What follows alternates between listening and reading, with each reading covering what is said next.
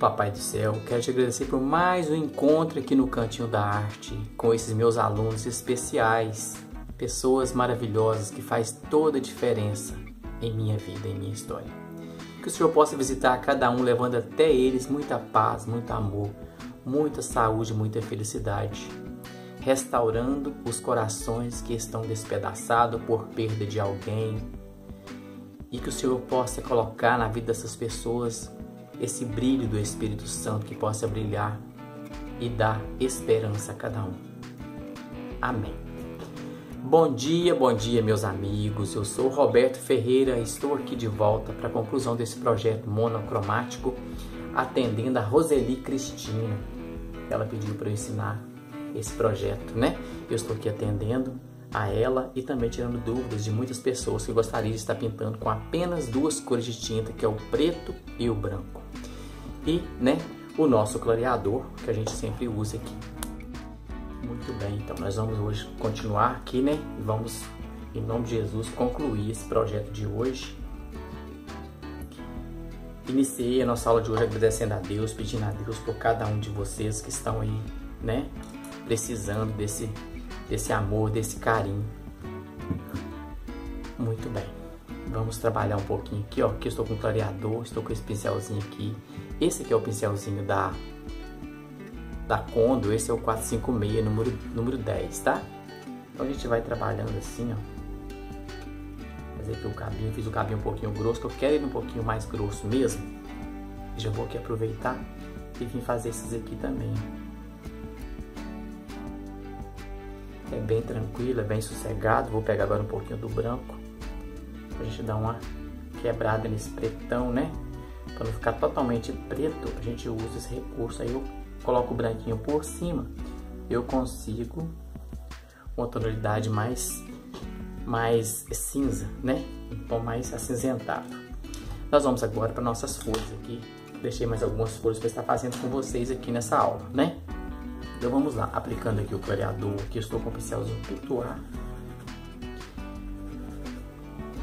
Vocês observaram um pouquinho de brilho aqui, é porque eu, como eu falo para vocês, eu coloco um pouquinho de glitter no meio, né, o dimensional 3D, nas minhas, no meu clareador. Aproveitar e passar um pouquinho aqui também, que tem essas folhinhas menorzinhas. Vamos lá então, olha só. Aqui nós temos o preto e o branco. Nós vamos trabalhar com o preto e o branco aqui, ó. Dá esse traço no meio aqui e vou puxar para as pontas, olha. Como eu já apliquei o meu clareador, a minha tinta vai fluir tranquilamente aqui, ó. Olha só que eu vou só gastando um pouquinho dessa tinta aqui, puxando para cá. Olha só que legal. Aqui eu faço a mesma coisa, são rapidinhos, são pinceladas rápidas mesmo. Aqui eu estou com tecido de Itamine, tá bom, pessoal? É um tecido muito bom para pintar, você pode fazer é, colchas para sua casa, jogo de cozinha. Enfim, você pode trabalhar com esse tecido, fazer barradinho de pano de pratos, que fica bem bacana, tá? O Itamina, esse Itamine aqui é o mais abertinho, dá para pintar e bordar. E tem também o Itamine é aquele mais fechadinho, é tipo uma telinha, tá? Ele é bem mais fechadinho. Aqui eu estou com o branquinho agora, ó.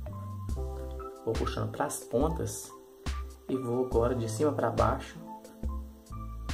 Quininha de pincel, agora já estou com o pincelzinho número 8 da Acrylex. Mas pincéis, você, você não se prenda nos que eu uso.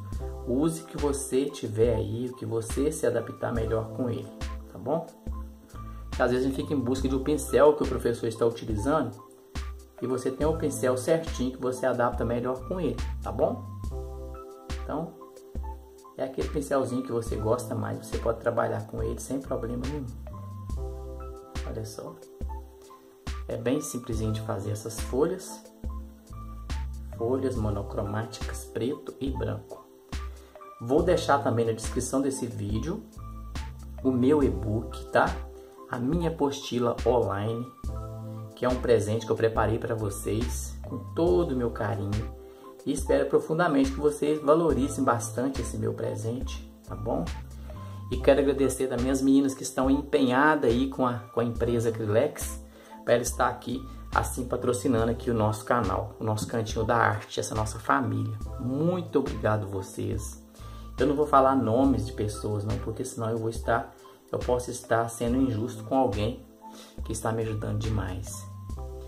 Mas tem uma querida aí que ela está empenhada mesmo e é eu agradeço demais, peço a Deus demais por ela, por vocês, porque a gente vê, sente assim o carinho de vocês por mim. Isso é muito legal. Aqui eu estou com a quininha do pincel, pessoal. Você vê que eu não troquei de pincel, ó. Só faço isso aqui agora, só para dar uma nuancezinha de nervura aqui. Se eu perceber que ficou muito grosseiro, eu volto aqui com o meu branco, com esse branco. E vou dando umas afinadinhas assim, ó.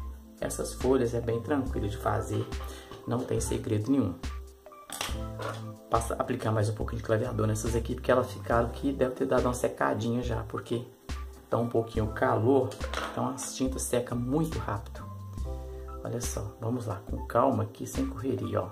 Isso aqui são as folhinhas menorzinhas. Ó. Ele vai fazendo isso aqui. Aqui eu coloquei minha tinta no, no, nesse pratinho. Geralmente eu uso, eu uso que está na tampinha mesmo, mas aqui hoje eu resolvi colocar aqui só para fazer um, um, uma organizaçãozinha melhor aqui para vocês. E fica legal a gente trabalhar com esse carinho, né? E aqui no pratinho me favorece porque eu coloco, trabalho com ela, dou uma amassadinha nela. Posso pegar um pouquinho do branco, dar uma clareada aqui, fazer um tom de cinza mais clarinho para não ficar tão escuro, ó. Pra gente ir trabalhando assim, essas pinceladinhas. Essas daqui são as folhinhas menores. E a gente vai trabalhando, fazendo isso aqui. Fica muito bonitinha essa pintura. As pinturas monocromáticas geralmente é legal. Aí você vai me perguntar, mas Roberto, pintura monocromática só usa preto e branco? Não, você pode fazer um monocromático com azul e branco. Você pode fazer com marrom e branco. Enfim, não precisa você ficar só preso nessa cor de tinta não, tá? Então a cor que você quiser usar, vermelho e branco. Porque se você usar o vermelho e o branco, você vai conseguir tons de rosas mais claros, mais escuros. Você trabalha, você consegue fazer um monocromático muito bonito. Usando esse recurso do, banco, do branco, né? Para estar clareando. Por exemplo, aqui. Eu estou utilizando preto e branco, mas vocês podem perceber que aqui está surgindo cores diferentes. Ou seja, está dando tom de cinzas, né? Isso é muito legal. Aqui eu estou com o pincelzinho filete, vou pegar um pouquinho do branco, ó. Puxar pra cá. Um pouquinho do branquinho aqui sim, para dar uma quebrada nele, dar um tomzinho de cinza mais suave aqui. Eu vou puxar aqui, ó. Pincelzinho hidratadinho na água, para ficar um traço mais fininho.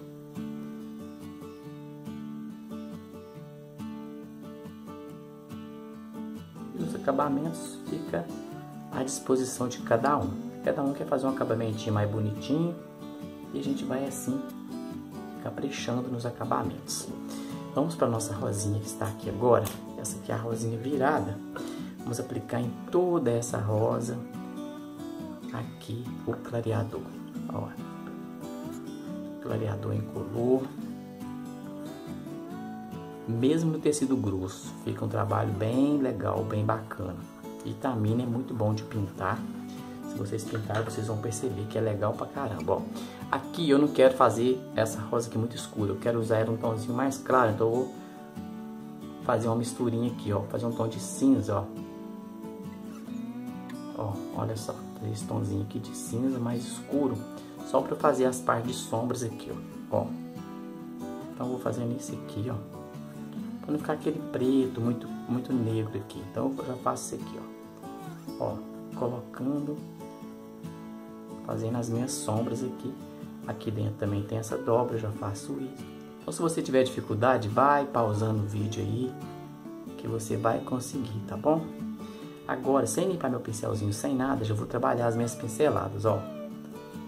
Com o branquinho aqui, ó. Vou colocar pra cá pra você ficar mais fácil vocês visualizarem aqui. Coloquei o branquinho e vou de encontro. Eu não, você viu que eu não coloquei o preto puro, não. Eu quero ela mais iluminada aqui um pouquinho, então eu faço isso, ó. Deixo o branco bem acentuado aqui na ponta, para dar, dar umas pétalas mais bonitinhas aqui. Peguei novamente aqui. Olha só que legal. Agora eu vou vir do outro lado aqui, ó, mesma coisa, ó. Eu espero estar ajudando vocês, espero estar tirando dúvidas. Se vocês já estão felizes com esse vídeo, com essa aula de hoje, com esse novo dia, já vai deixando o seu like, deixando o seu comentário já vai compartilhando bastante para esse canal, essa nossa família que não para de crescer, continuar crescendo e levando até as pessoas um pouquinho do nosso amor, um pouquinho do nosso carinho, um pouquinho do nosso bate-papo aqui no canal, né? Nós somos pessoas que estamos é, crescendo a cada dia mais na presença do Senhor Jesus. Né? Nós queremos crescer muito, mas sempre na presença do Pai, porque senão não vai adiantar nada. Como eu disse no outro vídeo, a mesma coisa que você construir um castelo de areia na praia, vem a onda do mar e leva tudo embora. Nós temos que construir a nossa vida na rocha firme, né? Com essa certeza que nós estamos fazendo um trabalho legal, nós estamos levando até a pessoa, as pessoas um pouquinho do nosso amor, um pouquinho do nosso carinho. Aqui eu dou só essa pinceladinha no meio para conseguir fazer aquilo ali, ó. Olha só, pessoal, que simples. Fala a verdade, não é simples? Muito legal. Aqui agora é a parte da cepa dela. Eu vou puxar aqui, ó. Preto e branco. Só para não ficar nada assim muito carregado aqui, bem discreto. E agora nós vamos fazer, é, subir aqui essas hastezinhas do, que vai até lá no botãozinho lá em cima. Mas antes eu vou estar aplicando aqui, ó, o clareador, porque eu quero uma, uma linha um pouquinho mais fina aqui, ó. Vamos os botõezinhos. Só que legal. Vou até puxar um pouquinho para cá para a imagem ficar mais focada aqui, para a gente trabalhar aquela região ali. Se eu quiser ir diretamente aqui com esse, com esse pincelzinho filete, eu vou fazer isso aqui. Eu vou dar uma quebrada um pouco aqui nessa tinta, para não ficar tão branco, não ficar tão preto, com uns tons de cinza mais tranquilo. Faço isso e vou pegar aqui assim, ó, com o pincelzinho em pé, redar esse pratinho para cá tentar um tomzinho de cinza mais suave. Com a minha tinta um pouquinho mais aguadinha, eu consigo fazer esses traços assim,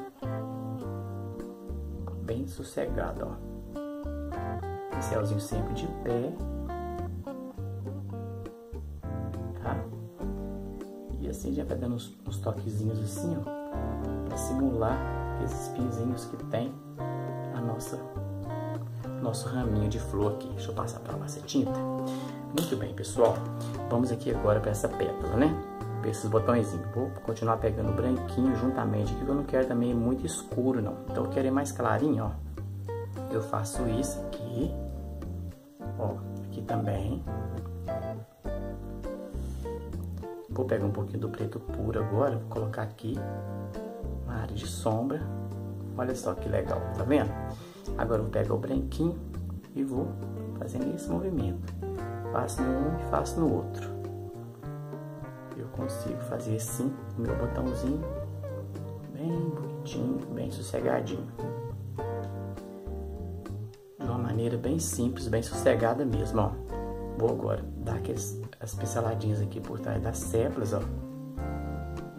Cantinho de pincel, encosta aqui, ó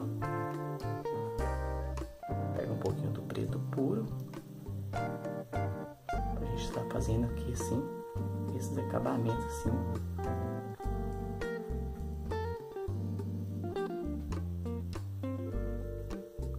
Uns apertõezinhos, simulando alguns espinzinhos que tem aqui.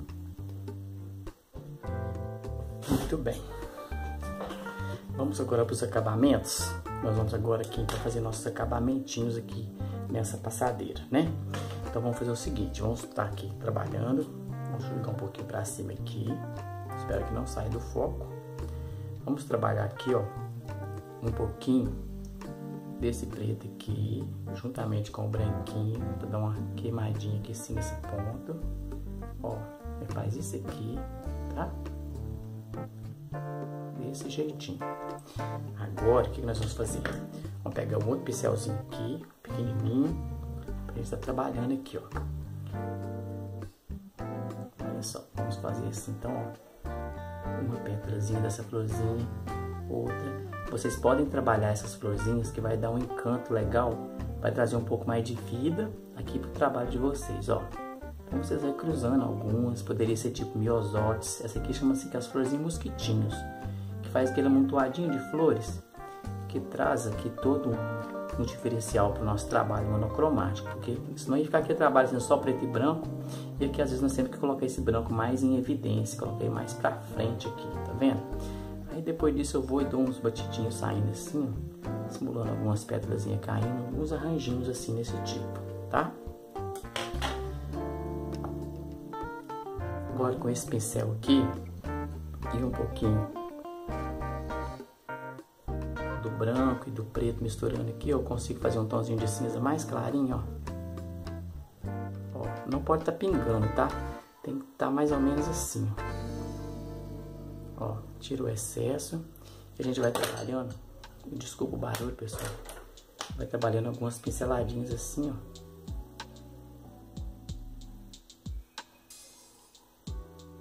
hora mais branco, hora mais escuro, pra gente trabalhar esses acabamentos que tem, tipo aquelas folhinhas de sombra que fica lá por trás da nossa flor. Então a gente vai trabalhando assim.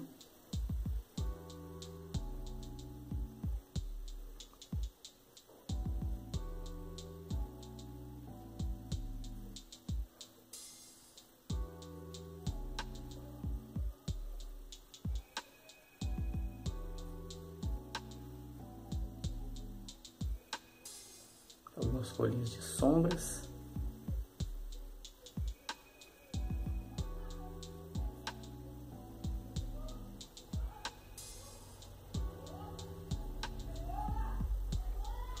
Como o miolinho dela não posso colocar o branco, o, o amarelo, eu vou com o pretinho. Faço aqui, ó. Marco os miolinhos com essa cor pretinha. Aqui se eu dou um risquinho com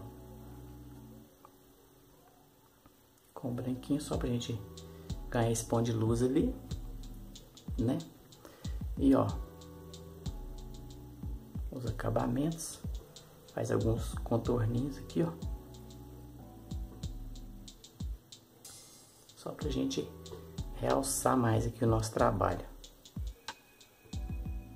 Aí você acrescenta alguns arabescos, para dar movimento ao arranjo. Pincelzinho sempre em pezinho, tá? Vocês trabalhar esses detalhes. É simples, mas é chique, né? Ficou bastante chique aqui o nosso trabalho. Espero que vocês tenham gostado dessa aula. Esse foi o vídeo de hoje. Atendi, assim, a Roseli Cristina. Espero que você tenha gostado, Roseli. Espero que eu tenha te ajudado de alguma forma. Fique com Deus, rezem por mim, orem por mim. Inscreva-se, compartilha e não deixe de ativar o sininho das notificações para o YouTube te manter sempre informado de cada vídeo que eu mandar para vocês, tá bom? Fiquem com Deus, rezem por mim, orem por mim, que eu estarei aqui fazendo o mesmo para vocês o tempo todo. E até o próximo vídeo, se Deus quiser. Tchauzinho!